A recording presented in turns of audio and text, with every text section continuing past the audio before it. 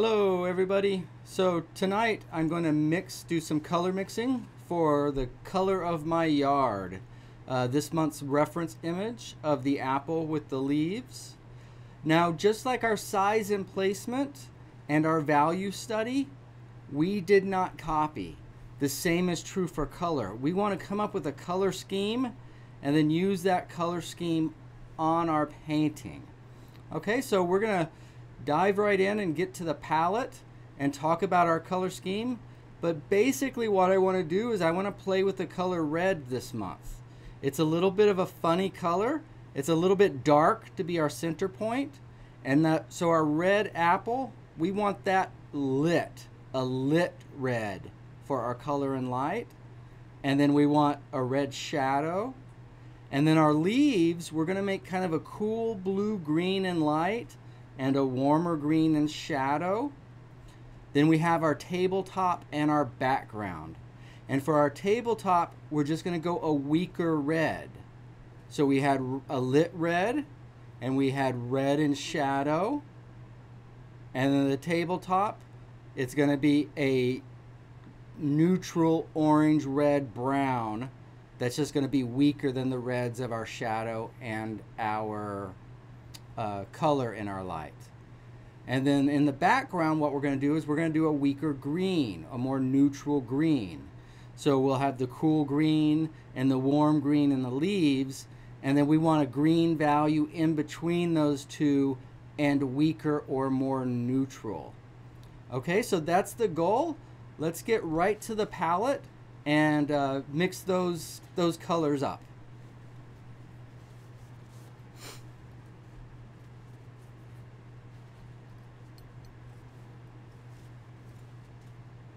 Are we all switched over, sweetie? Yep.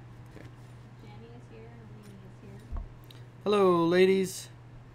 So the first question is, is what is our main color, right? We want to start with our finish. And since we're going to make this a red apple, this is the red, so this is my CAD red light.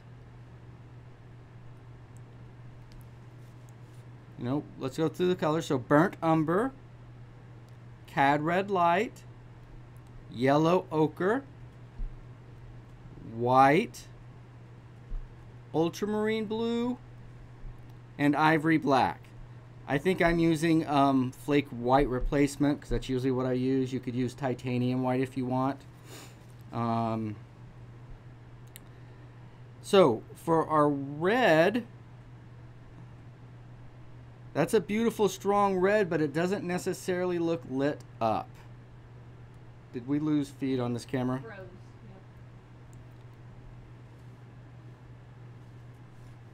All right, let me check the connection.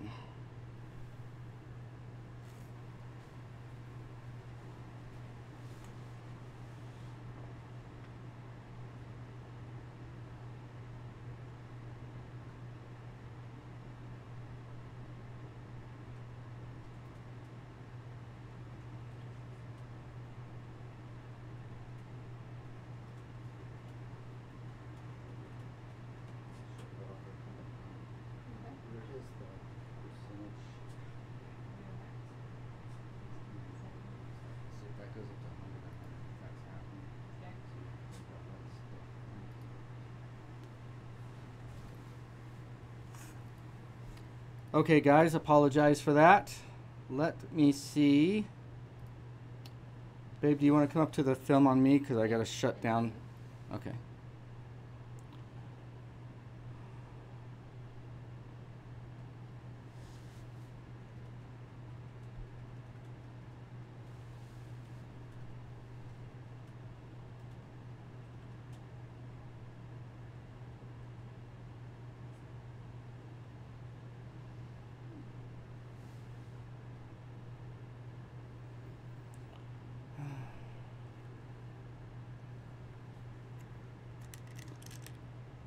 Alright guys, this is like the worst worst video ever. Should probably just start over, but we're going to see if we can power through the technical difficulties.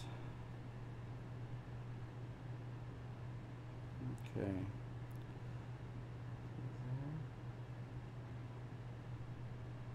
Tom gave you a heart. We'll get it, guys. We'll get it. Okay, how's that picture, babe? Is that color okay? Yep. Okay. The white look okay? We have the highlights on the white? The. Okay. Okay, so let's pick up where we left off, and hopefully this camera won't go again. So we're looking for red, and we want that red to be lit. We light things up by adding a certain amount of white to it.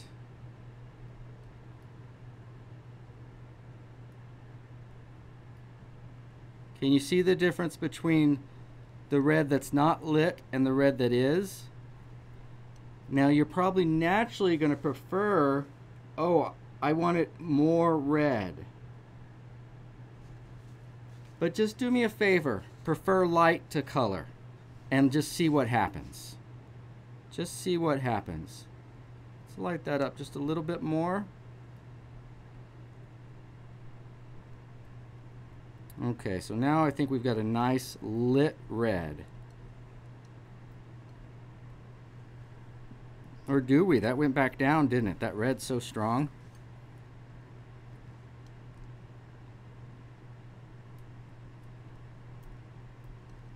Let's see if it holds up this time.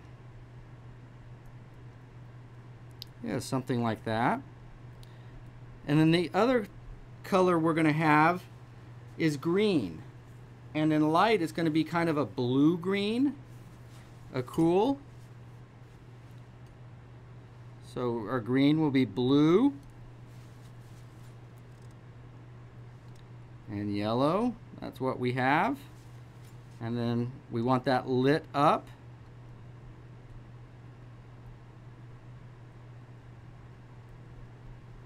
Okay, so what do you guys think we need to do from here? Just way too blue, right?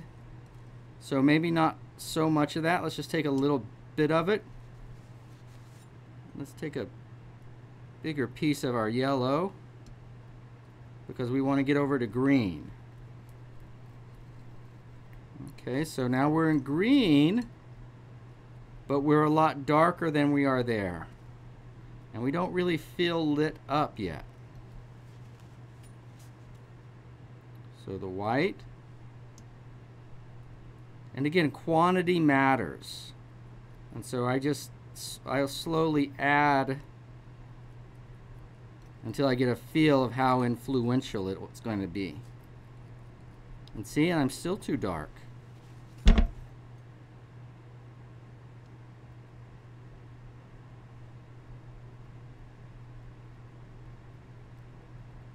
Okay, that's feeling better. That's feeling better. And that's a that's a little too light, isn't it? And it's a little bit yellow. That wouldn't actually look so bad, I don't think, but we need something a little bit stronger so our background can be weaker.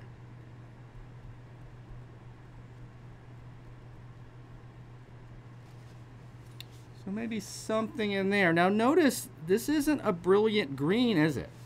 It's kind of a gray, dull, blah, which is fine because this is our color, right? The main thing is it's got to be strong enough that we can get something weaker behind it. So for that reason alone, I'm going to just try to pump up the color a little bit. Now you see as I did that, the value got darker. So I need to raise that value back up. So we're relatively close there now. but the leaves are going to be slightly lighter than our red. Or at least that's my way I'm going to do it. So something like that. Okay, so that was, this is just a mixing pile. I'll set this over there. And this is our pure red that we're not going to use because we want it lit up now how about the red and shadow? So red, but then we want it darker. You know what I'm going to do? I'm going to set this over here. So then I can get that red background in the middle and make sure it's weaker. Then let's take our burnt umber, since we want to keep this in the red family. Black is more neutral, and then blue is obviously blue. The umber is the brown, or in the orange-red family. So that's going to be the most intense red I can get as I darken this down.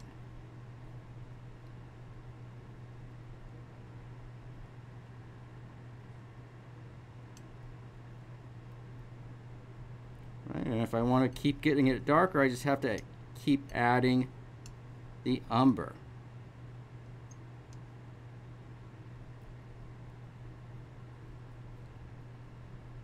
Right, and I can leave plenty of color there, right?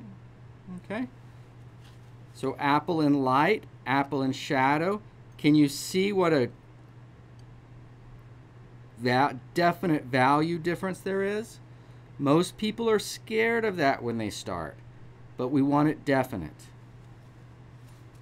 So let's get our green and shadow. So green is blue and yellow.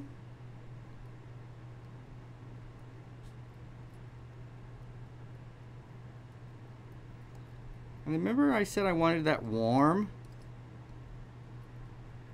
So that's warmer and compared to that, but the color is so strong. And I don't know that I want us focusing on the shadow of our leaves. So I'm going to take just a little bit of this red at the value and put it in there just so it's not too high chroma, but to neutralize that a little bit.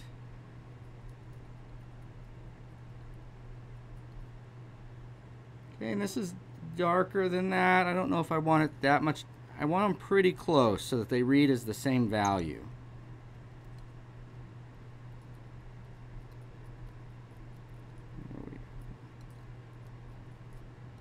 Notice I just add a little bit and then I watch it.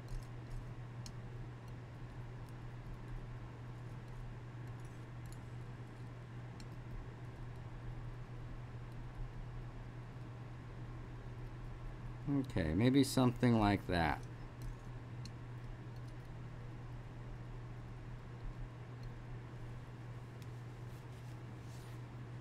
Green and light, green and shadow. Now notice these aren't beautiful necessarily colors. That's okay. We can have beautiful paintings without what you're usually thinking of as beautiful colors. So go to the my go up to me, baby. The what? Shoot uh, the camera on me. On you. It's on you. Okay. All right, we're going to try to restart this thing one more time. And obviously, we need to revisit this program.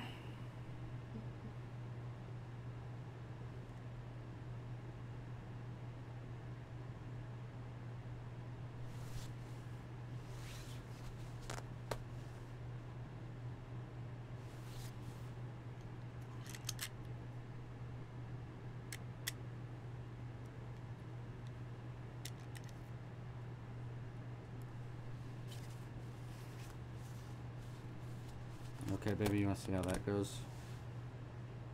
Yep. Uh, so far it's still dark. What? Dark. That camera's dark? Yeah.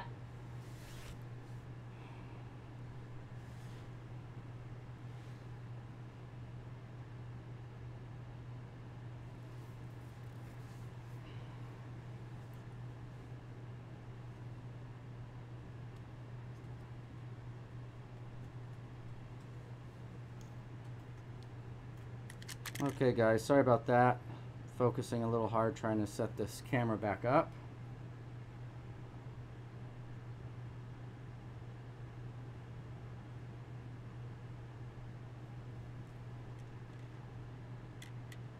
Can you see that camera now? Yep. Okay. All right. So one last time, I've got a couple more piles here I'm going to mix, and that will be that. So.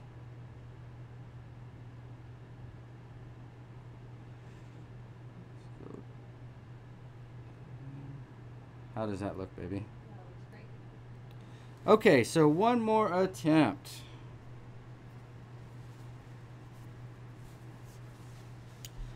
So remember we said our tabletop? We want to be somewhere in there. We want to be warm. So if we want it to be weaker than this, what I might do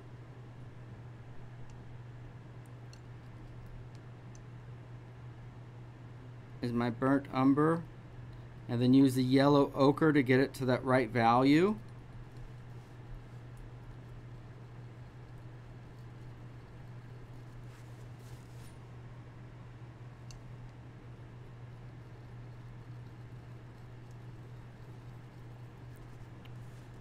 Okay, and if that's still strong, how could we weaken that without adding white? Well, just with black or with a little bit of blue, right? But we got to watch that value. We don't want it to dip down too much, so we'll have to add, keep adding that yellow to keep that value up.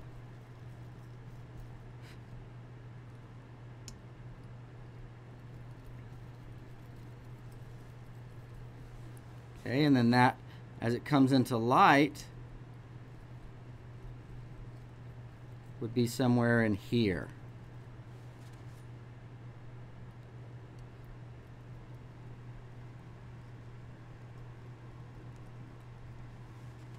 All right, so there's our warm, the lightest, the middle, and then the shadow, apple in light, tabletop, apple in shadow. We have leaves in light, leaves in shadow. So let's get our background then. What do we want our background to be? Well, a weak green. So instead of blue, why don't we start with yellow and black?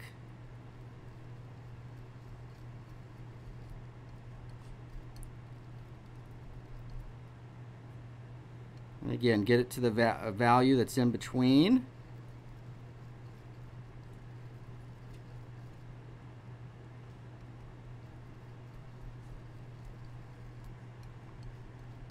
When I grade this off, I'm going to grade it off with a little bit of our red.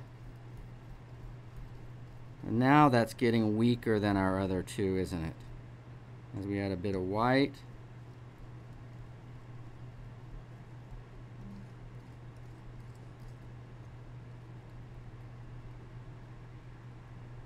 Okay, so if that's background, that would fall in between. And then in places in the background, we could make it a stronger color or a weaker color or a lighter value if we wanted. Then, since we did red and green, let's see, this air, well, that would slide right in through there, and then that should slide right in through there too.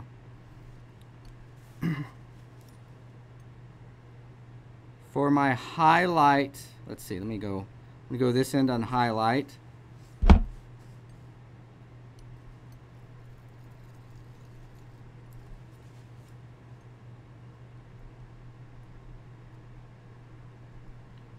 I'm going to let it just be slightly green. And what that'll do is just give it a little extra pop off of our red. Okay, so we have apple in light, similar value to the leaves in light. We have background. We have tabletop. Values in between our light and our shadow. And weaker in chroma. Then our shadow, we have red, a little bit stronger again. And then our leaves are green. So again, similar value, but stronger here and a little weaker there.